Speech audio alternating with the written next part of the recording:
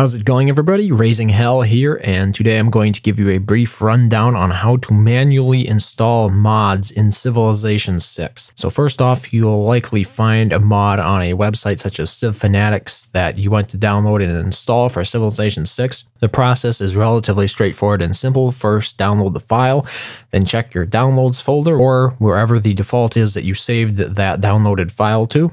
It'll most likely be a compressed file, so make sure that you can unzip it. For example, with regular zip compression, you can simply right click it and choose to extract all, select a destination, and choose to extract them. And as you can see, if you look at the original folder, you'll see that in the downloads folder, next the zip file is now a regular folder.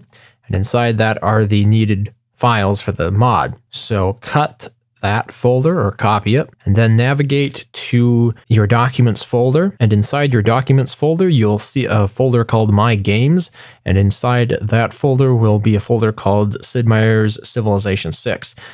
Inside that folder look for a folder called mods and open it up You'll see most likely no mods if you haven't installed any yet. I have installed a couple of them, but I'm going to in install this one as well. So I'm simply going to paste that file or that folder that I extracted in the downloads. And now we're going to double check to make sure everything is okay here. Yes. So once you've got that pasted in, you'll want to launch Civilization 6. And you have to keep in mind that by default, you cannot enable mods on games that you have already started without a mod. So if you want to do some sort of graphical user interface tweak or whatnot, you're going to actually have to delve a little bit deeper. And most likely, the mods that do that will give you the instructions on how to. So this method is mostly just for your plain run of the mill mods that are mostly involved with affecting actual gameplay mechanics. In other words, they'll not simply tweak the user interface or any sort of graphical options. So, with that out of the way,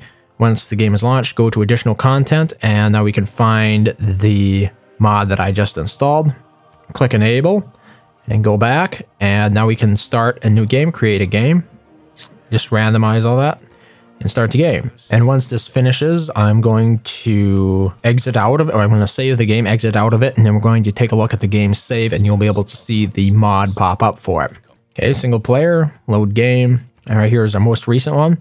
Uh, that I had an, a mod enabled for it. You can look at it, and right there you can see unit report screen is one of the mods enabled. And you'll notice other games, such as this one, does not it's it's missing certain mods, and therefore I can't load it. But if we go down here and look at games that I had started without the mods, you'll see it does not include the mod in it. So if I load this version, this old game save, even though I have enabled the new this unit report screen mod that I just installed, it will not appear in that older game because it was not a part of the original save.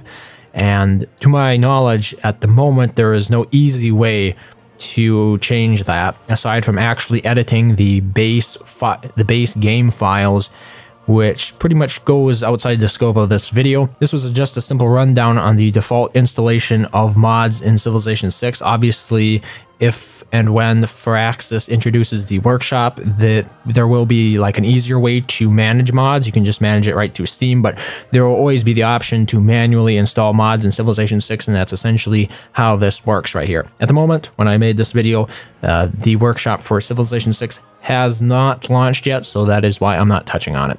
Anyway, thank you very much for watching. I hope you found this useful, and I also hope to see you next time.